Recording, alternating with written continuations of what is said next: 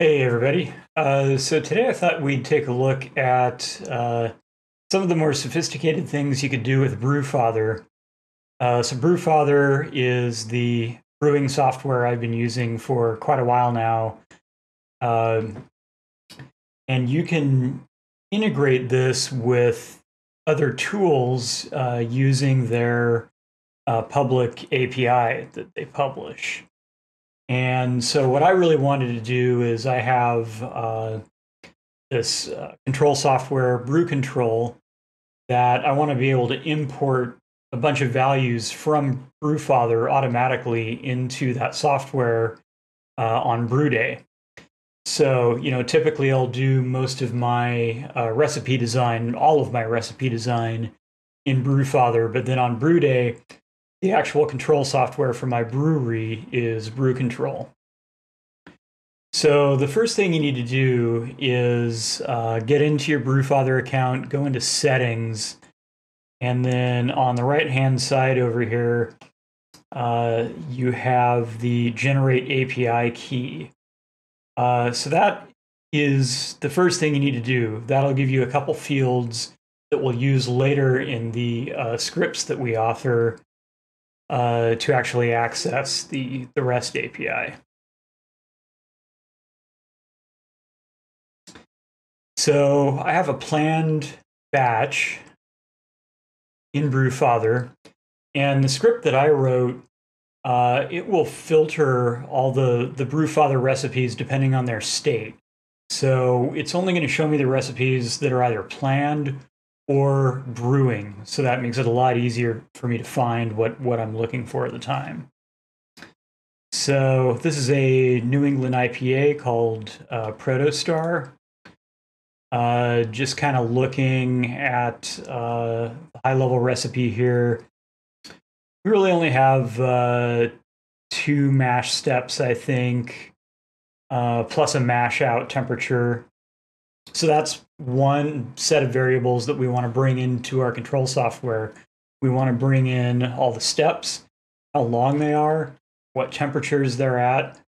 We also, of course, want to bring in the boil time and we want to bring in the boil volume or how much we want to sparge.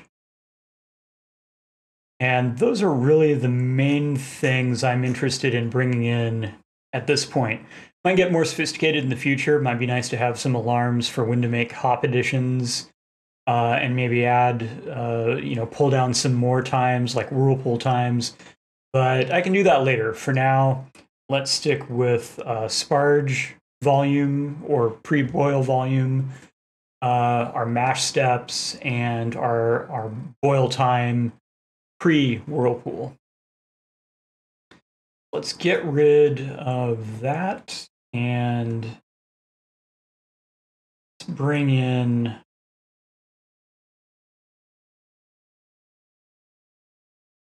the control software. So first thing I want to show you is this window here. So this is just built using a really simple Python uh, script using uh, a simple UI package for it. And if I click refresh list, nothing will actually change. We just have one batch that's in planning or brewing state, which is our protostar batch. And if I click that, it'll import all the values uh, into the control software here.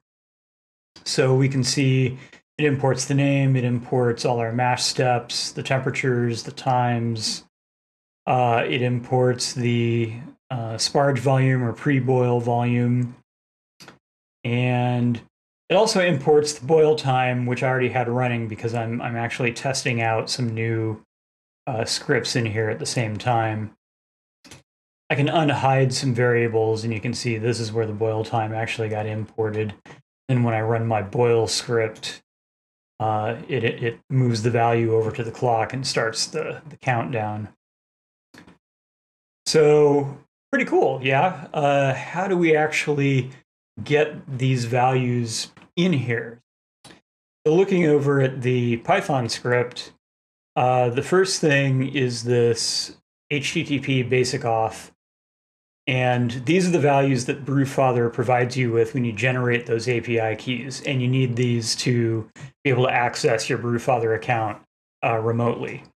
Uh, these are not real values that you see here. I've just put in garbage because uh, obviously I don't want to expose my keys. And then we get into some of the details here. Um, so in the query, we can actually state what pieces of the recipe we're interested in. Uh, you can pull down a bunch of values, but if you're not going to use those values, you might as well not pull them down. You can actually specify the sets of values that you're interested in receiving uh, from the query. So really, I'm, I'm interested in just the recipe.equipment and recipe.mash and those have all the values I'm looking for right now. So then we set up our uh, our get and the HTTPS API Brewfather, and then we just append the batch ID that we're interested in, pass in our query params, and then we get our response JSON back. And then the rest of this is really just iterating through this response JSON to build uh, a big data string in the format that BruControl wants it to populate its globals to move the values over. So I won't go into a, a gory amount of detail with all this stuff. Uh, I, I have this posted on my GitHub account, which I'll link in the description. Uh, so if you want to look this over in more detail, you certainly can.